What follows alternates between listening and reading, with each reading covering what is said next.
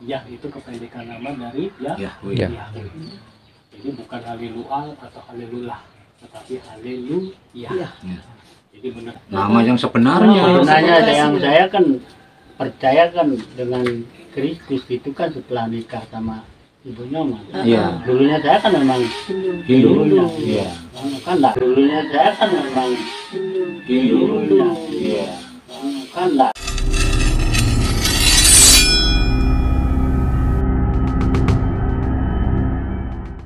Assalamualaikum warahmatullahi wabarakatuh. Bertemu lagi dengan Rahasia Alif Channel. Sahabat Wan Villa, ini kita temui lagi sebuah video Yang sepertinya adalah proses penginjilan kepada umat Hindu.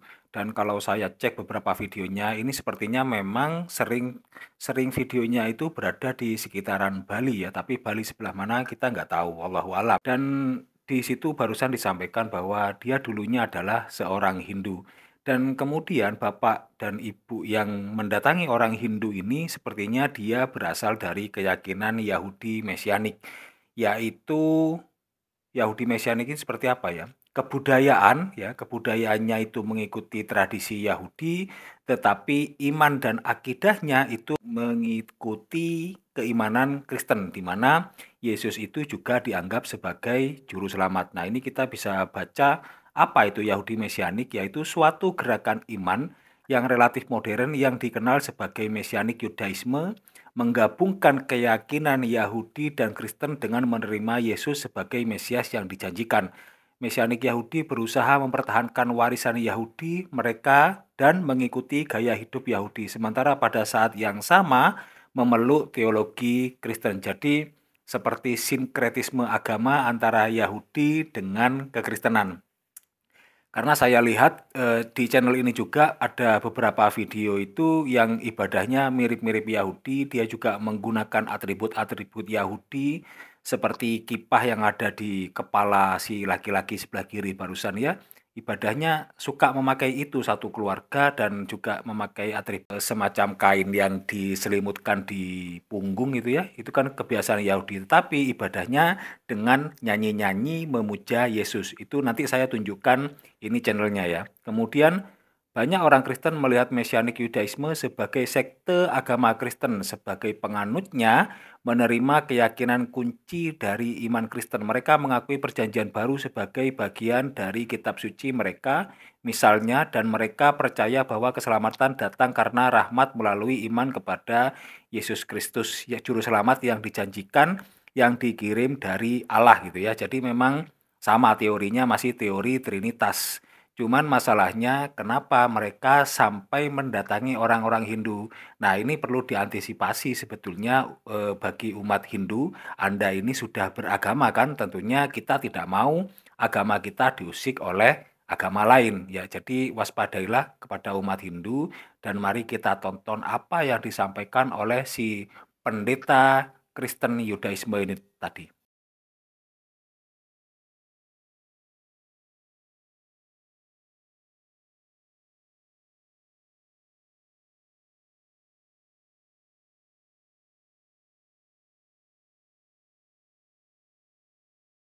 Benar nama Tuhan itu adalah Yahweh. Gitu ya. Terus nama putra yang turun ke dalam dunia yang adalah bahasa Yahweh sendiri adalah Yeshua.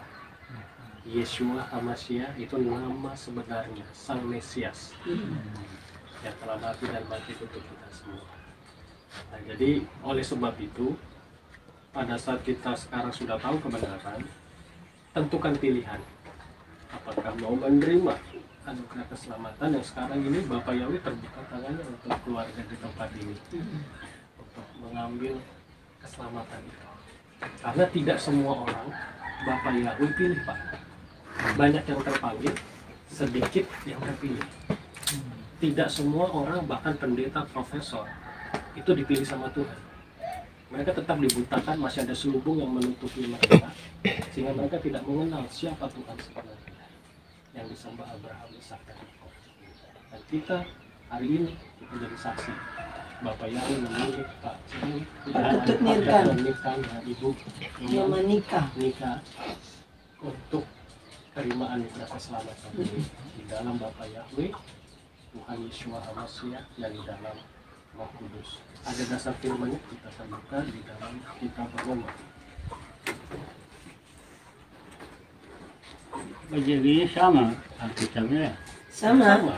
namanya kan Ter- namanya namanya salah sih Bapak bisa baca monggo? Kalau nak pakai kacamata. Saya akan bacakan ya Pak ya. Diikutin, ditiruin. Roma 10 ayat 13. Bapak bisa ikuti saya sama Ibu ya. Ikutin ya Pak. Sebab setiap orang sebab setiap orang yang berseru yang berseru kepada nama Yahweh, kepada nama Yahweh dia akan diselamatkan. dia akan diselamatkan. Amin. Jadi orang berseru kepada nama Yahweh itu akan selamat Pak. Amin. Dan itu yang ditutupi oleh setan supaya manusia tidak kenal siapa pencipta, siapa juru selamat, siapa yang menyelamatkan manusia. Makanya ribuan tahun nama itu seolah-olah tenggelam. Nama itu seolah-olah dihilangkan dan bahkan diganti dengan nama ilah-ilah asing yang bukan dari kitab Dibelokkan. dibelokkan. Yahweh jadi Allah, nama Yesua jadi Yesus, bahkan ada Isa Al-Masih, Jesus Christ, macam-macam Pak. Nama-nama di dalam iman kekristenan. Hari ini kabar sukacita. Bapak Yahweh memberikan pengetahuan penuh bahwa nama Sang Pencipta langit dan bumi adalah Yahweh. Di dalam nama Tuhan Yesua HaMashiach.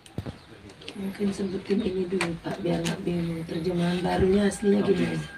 Di Ya maksudnya Bapak kan biasanya punya kitab suci LAI itu ya Pak ya, Hmm. terjemahan baru itu ya, TB. hmm, Kalau TB tertulisnya di Roma 10 ayat 13, sebab barang siapa yang berseru kepada nama Tuhan akan diselamatkan. Pertanyaan, Tuhannya yang mana? hmm. Banyak ribuan nama Tuhan di muka bumi ini. Tuhan bukan nama. Tuhan bukan nama, bukan nama. tetapi gelar. Gelar.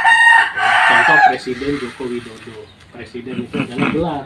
Joko Widodo adalah na- Nama. nama. Harus dibedakan. Tuhan itu bukan nama tetapi ge gelar sebagai sang pencipta nah ini harus jelas nih nama Tuhan. Tuhan yang mana? Gitu kan? Ada Kuan Kong ada Kuan Yin ada Niroro Kidul Krishna Brahma yang mana? Karena kalau di LAI di kamus paling belakang kata Tuhan itu mengganti sebenarnya nama sesungguhnya salinan dari nama Elohim Israel yaitu Yahweh jadi Bapak kalau melihat kata Tuhan di Alkitab harusnya diganti dengan nama ya Yahweh. Jadi Jika video ini sampai di Bapak Ibu, tandanya Allah memilih untuk membantu bangsa. dan pilihan ini Bapak Yahweh berikan kepada manusia. Tinggal manusia memilih mau atau tidak. Coba bisa dibantu di kamus Alkitab kata Tuhan Kamu ada tiga li- 325. Oh, 325. Jadi biar Alkitab sendiri yang menjelaskan bahwa Yahweh itu bukan versi kami, tetapi benar-benar memang Ini tertulis. Pak. Eh, Tuhan Salinan Allah Israel. salinan dari nama Allah Israel yaitu Yaitu Yahweh. Jadi eh, yang di Alkitab yang ada tulisan T U H A N huruf besar semua itu Tuhan itu Yahweh. har- harusnya Yahweh bukan Allah gitu ya bukan Allah bukan hanya Tuhan tapi Yahweh gitu jadi ada di sini kita mengimani eh, firman Tuhan itu ya sama kitabnya hanya nama Tuhannya yang dipulihkan sudah gitu Pak Itu dibelokkan di situ ya. Iya, Dibohongin iya. kita. dibohongin sama eh, penerjemah Penerjemah. yang awal menerjemahkan kitab suci ini kan orang Muslim namanya Abdullah bin Abdul Qadir. Abdullah bin Abdul Abdul Qadir. Munsi gitu Orang Arab, orang Arab Tamil Muslim. Muslim, Islam. dia pikir Tuhannya orang Israel yang bernama Yahweh itu bisa dia ganti dengan nama Tuhannya dia yang si Allah itu Disamakan. disamakan ya disamakan tapi itu salah Ya, oke. Terusin baca. Ya, jadi iya iya nanti ya dan Nanti di, nanti dikasih Alkitab eh, apa? Hmm. Itu. Dan ternyata sekarang pendeta-pendeta itu sebenarnya sudah tahu pak nama Yahweh. Cuma dia pakai untuk dirinya sendiri. ya Karena dia tidak mau memberitakan kepada jemaatnya. Karena apa? Ada yang tahu nggak kira-kira? takut kehilangan jemaat takut dipecat sesat. sinode takut disingkirkan piring piringnya pecah piringnya Bilang goyang sesat. dibilang sesat terlalu banyak pertimbangan untung ruginya pak tapi yang dipikir bukan kebenaran tapi justru mereka lebih berat kepada dunia. Ini dunia. Hmm. mereka lebih takut sama manusia daripada sama Tuhan. Apa Yahweh. Jadi kalau kita tanya pendeta tahu nggak nama Yahweh? Saya yakin tahu pak. Pendeta-pendeta besar itu semua tahu nama Yahweh. Gilbert semua lah Timotius Arifin semua Niko semuanya itu sudah Ripa Nawang. No, Nawang.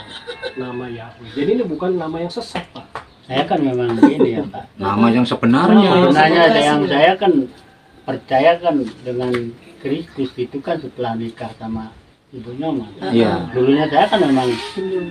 dulunya. Iya. Kan enggak enggak begitu mendalam bidang Iya. Alkitab begitu enggak. Karena nggak apa-apa pak itu masa lalu Salah. Nggak Jadi mana sebenarnya saya enggak jelas enggak Ah, begitu mengerti saya. Iya. Tapi kan orang latar belakangnya dari Hindu saya kan enggak. Ya. tahu gitu. Jadi Tuhan itu penuh dengan kasih dan belas kasih dan Ya. punya waktunya sendiri pak. Ya. Jadi bapak sama ibu digiring terus sampai kepada pengenalan penuh. Siapa Tuhan yang sebenarnya? Ya. pribadinya siapa? Namanya siapa? Pengajarannya juga bagaimana? Yang sebenarnya. Karena selama ini mungkin kita sejauh ya kita semua ini backgroundnya Kristen pak yang nyembahnya juga yang nyembah yang Arab itu Yunani juga. Tetapi karena kita mau terus cari kebenaran firman Tuhan berkata mintalah maka kamu akan disingkapkan. mendapatkan. Carilah maka kamu akan menemukan. Ketuklah pintu akan dibukakan. Dan entah bagaimana dengan cara yang luar biasa Bapak menggiring kita Ya. sampai kepada pengenalan. Ini loh namaku yang sebenarnya. Yahweh. Di dalam nama Tuhan Yeshua Hamasya Yeshua dalam bahasa Ibrani arti katanya itu luar biasa.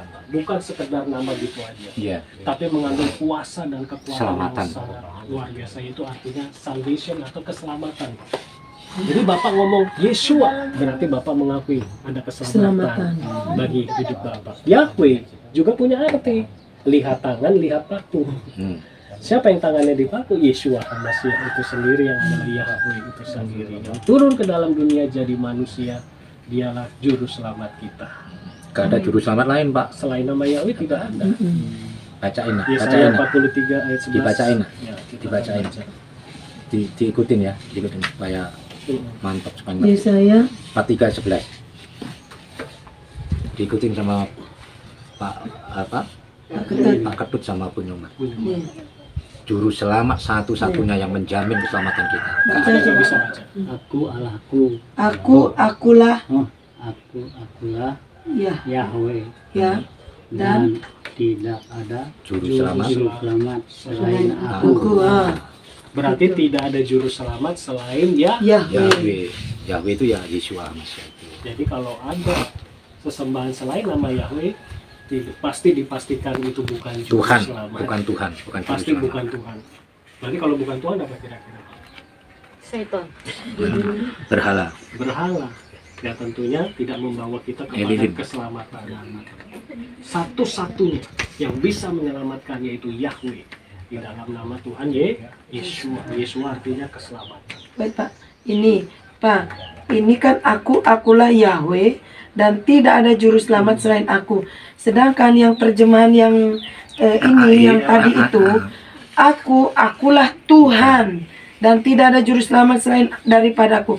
Tuhan ini kan umum tadi, bukan nama bukan nama. Tadi kan yang di kamus tuh orang Tuhan adalah salinan dari eh, Tuhan Israel yaitu Yahweh. Nah, terjemahan inilah yang tepat gitu. yang benar. Yang benar gitu. Ya. Betul. Namanya. Paham Pak Ketut Bang Ibu Nyoman paham? Hmm. iya. Jadi ini bukan pengajaran baru Pak, ini sudah bukan. dari Oh, itu sejak awal dunia. awal dunia dijadikan. Bahkan Ya. nama Yahweh itu kekal Pak, Kekal tidak ada batas ininya ya. Cuman pemahaman manusia saat ini baru dibukakan Pak, bahwa nama sesungguhnya itu adalah Yahweh di dalam Yeshua. bacain Yesaya 42 ayat 8 supaya tahu nama di tanah Bapa di surga ini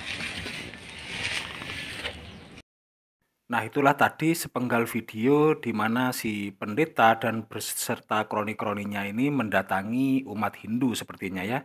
Dan ini saya tunjukkan kepada Anda umat Hindu, barangkali Anda memiliki kepentingan dengan video ini, silakan Anda akses channelnya Yosep Aditya Eka Putra. Kalau saya sih umat Islam tidak ada kepentingan karena memang ini hanya antara Hindu dengan Kristen, Kristen Mesianik dan tidak ada sama sekali menyinggung soal Islam tadi di situ. Jadi ya saya hanya memberikan video, memberikan informasi ini dan pastinya ada seseorang atau pastinya ada umat Hindu yang merasa berkepentingan dengan video ini entah mau dicegah atau bagaimana kita persilahkan saja. Ya demikian dari kami wabillahi taufik walhidayah. Assalamualaikum warahmatullahi wabarakatuh.